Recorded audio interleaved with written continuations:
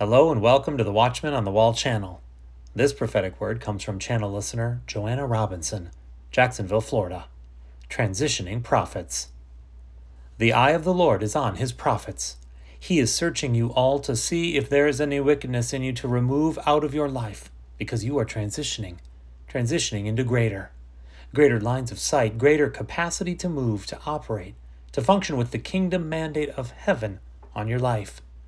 I see the Lord watching me in a vision as I write this prophetic word for his prophets. He's saying, Write the vision, make it clear.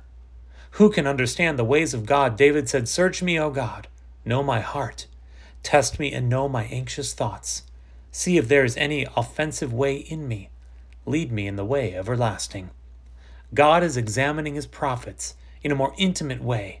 He's doing it right now because there are things in them that still may need to be removed before he can really use them to their full potential. Just like he used Jeremiah to root out and pull down, to destroy, to throw down, to build and to plant. This is what God is doing in you also, that your hearts must be postured in the place where your mouth will only speak his words and your intentions will be pure in giving God the glory and seeking no glory for yourself. He is watching over His word. He is being quick to perform it in your lives. Don't focus on the pain of transition or the grief of letting who you once were die. Keep your gaze on the Lord.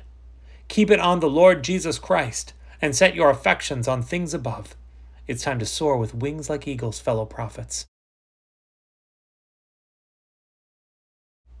Let go of the weariness of past battles Embrace the victory that is here now. Let's pray, friend. Heavenly Father, we pray a special word of protection over the prophets. Lord Jesus, not only those who are walking in the office of the prophet, but also anyone who's desiring, who's eagerly setting out to grow in the prophetic.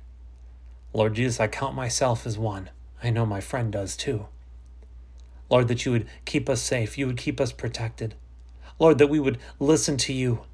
Like our sister Joanna talks about, Father, only your words would be spoken out of our mouths. Only your intentions would be made clear to those that we speak to. Lord Jesus, I thank you that you are in a work right now, transitioning prophets, transitioning those in the prophetic, Father. May we transition into more that you have for us. In Jesus' mighty name, amen.